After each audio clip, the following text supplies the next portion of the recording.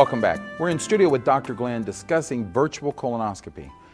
Doctor, I have to tell you, having had the virtual done, and, and obviously I've had the distinct pleasure of having a barium enema, I've had the rigid scope, and I've had four or six feet, whatever it happens to be, inserted inside of me.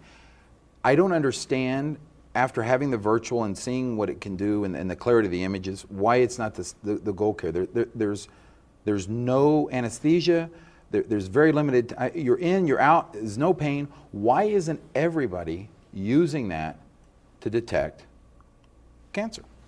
A couple of reasons. Um, the fiber optic scopes, people believe, represent the way of visualizing, and if you can grab that scope and just uh, as if we had a light source on the end of it and the light source was illuminating the yellow here, as you pull that out, the endoscopist is only seeing 70 to, 79 to 80 percent of the surface of the colon. He's not seeing the green areas behind the folds. So why wouldn't you want to use the? You could you see everything in the virtual. And we see not? and we see upwards of 100 percent with the other. Now the other reason is there have been tremendous advancements just in the last four years. The first three major articles up through 2002 were done with single slice or dual slice.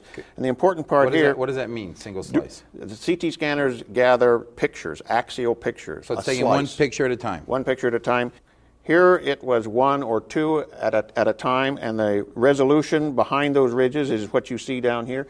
The New, the New, England Journal study was four channel, and you see now, the this tremendous. One, this the four channel one said that that that virtual is as good as the scope it was said that it was better than the scope at the polyp diameters that matter, seven millimeters and above. Okay. So here we are with one or two, four channel, and yours was done on a 16 channel. This is over near the cecum. Now the clarity is a lot better. Clarity is enormously better.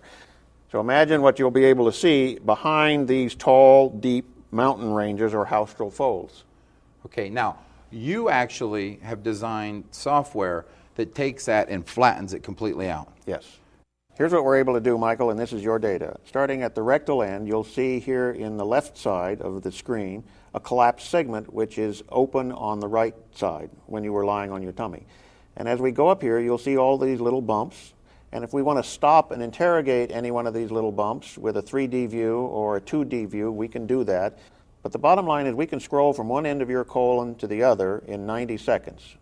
So you can tell basically by that being that way, by being able to flatten it out like that and look at it, within 90 seconds you can scroll my whole colon, look through it, and tell me whether I have any polyps that would, be, that would need to come out or, or require further investigation.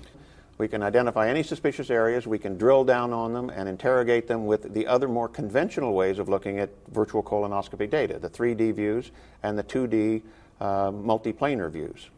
Okay, so if somebody wants to get this done, if somebody basically is scheduled to go get a scope, or if they want to know if they have cancer. I don't understand why, if 60,000 people a year are dying, well, I, I, did with the scope, why they wouldn't go and get it done. I'm supposed to go every few years and get it done, and I, and I almost refused to do it because it was extremely painful. With the virtual, there was no pain at all. So if somebody wanted to get it done, and they didn't know where to go, or they didn't know what to do. Can they what, can they call you? I mean, is there somebody in the phone book you can look up? It's very new, and I, obviously I didn't even know this existed until I heard about you and I called you and you, you were adamant I get most, it done. Most centers, Michael, are not doing these. Uh, it takes too long and there's too much data. So we want to do this as a primary Does it take service. too long, there's too much data because the center doesn't have the right equipment? Or, or because it didn't, I'm, I'm going to tell you, it took you no time at all to do this. And it didn't seem that, uh, it took you no time at all to put all these documents together. So obviously, it doesn't take that long if you have the right stuff. Uh, if they call our 1 800 number, we'll direct them to a local center in their neighborhood that can get this done and they can go in and get it and they'll will they get the copies like i did? Will they get the nice flat? Can they keep it for their records? Sure. I, to me it, it, it's incredible that i can have this i can keep it and five years from now when i go to get my next one i'll actually be able to compare myself. I didn't realize that they don't keep records of your of the of the, the scope when they put it up in there. No that's true. They don't and video you, it? you, you can have your rolled out flattening view and you can put it on your wall if you want or in a drawer. Well, Doc, I want to thank you for coming on the show. You have been, it's amazing what's out there. And I don't think that anybody realizes how fast computer technology is advancing. I mean, we, we use it every day in our life. We use the ATM machines, our telephones, our t- everything in, in our lives is computerized.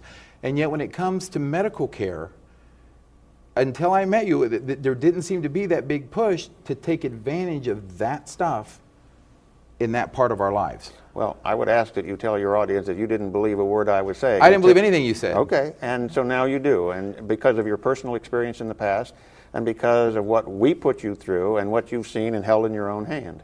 Yeah, I was very scared. I want to tell you, I was, I was very scared. I played it off when I came, but I was very, very scared that day. And, and now, knowing what I know, five years, I'll go get my next one. Good It's for been, you. a, it's been a pleasure having you on the show. I'll have to have you back. Thank you. Thanks. You've been watching Medical News Network. For information on this topic or any other, please visit our website at medicalnewsnetwork.info. Until next time, I wish you good health.